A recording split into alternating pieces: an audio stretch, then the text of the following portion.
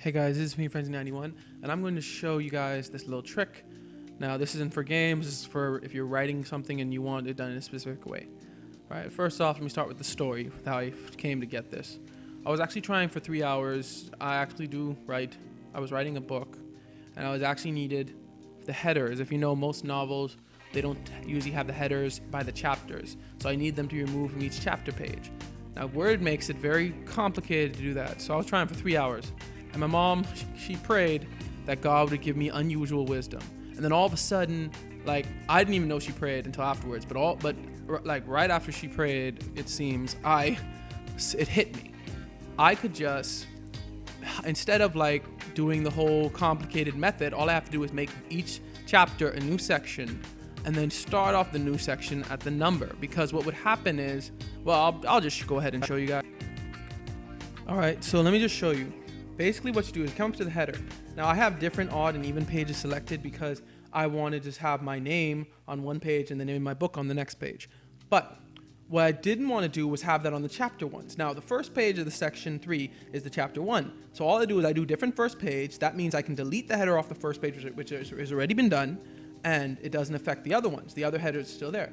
Now the problem starts when you get to chapter two and the header's still there. Now you want this header gone so what do you do? What I did was simple. You take the break, make it continuous. The, the title disappears, right? But look, now this page is page six because this page is technically page six, but they're not counting this page apparently as a number.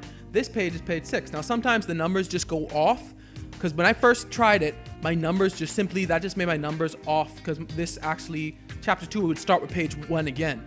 Now, if that happens, you still do the same thing. right? after you make it continuous, what you do is you notice this is page five. So what you do is you take this section and you go to insert, you go to page number, you go to format page number. You can untick this if this is ticked. You don't need this. You go to start from the page that's after the page that is this number. Or you can continue from the previous section, right? This becomes page 7 now. See? This is page 5, this becomes page 7. I actually didn't know you could continue to from the previous section until just now. Don't I feel like an idiot? I simply started them all from the number afterwards. Show you it again. Chapter 3, page 12. I go, I make page layout, make the section continuous. The, this disappears because I already have, in the header view, I already have different first page. So it makes the first page, that's why that disappears basically. So what I do with is I go down here. This is still the regular number because why? It seems like the document sort of remembers after you start doing it a while.